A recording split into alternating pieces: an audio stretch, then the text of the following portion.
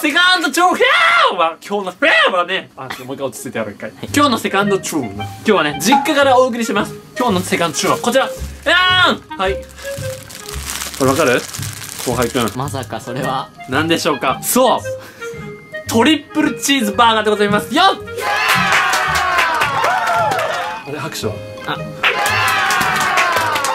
はいというわけでですね。あのマックでなんかこう選挙みたいなのやってたの知ってる？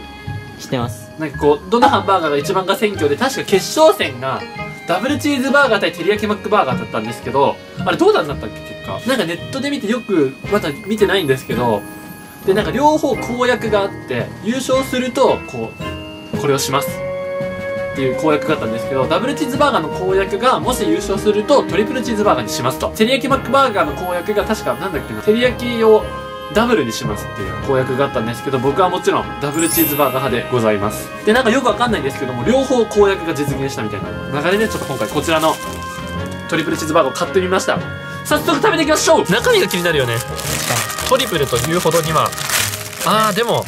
おおちょあーちょあーあちょあーあちょちょちょああすげえチーズの量だでも。ちょっと分解してみますか。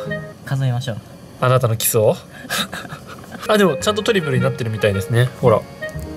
チーズが3連単ですね。よし。くっつもうぐちゃぐちゃになってもうたわ。じゃあ早速いただきます。いやほんとダブルチーズバーガー一番好きだからね。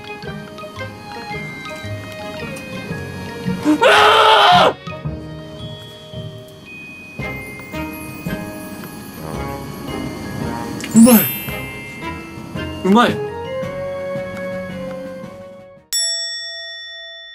以上今日のセカンドでした。バイバイ。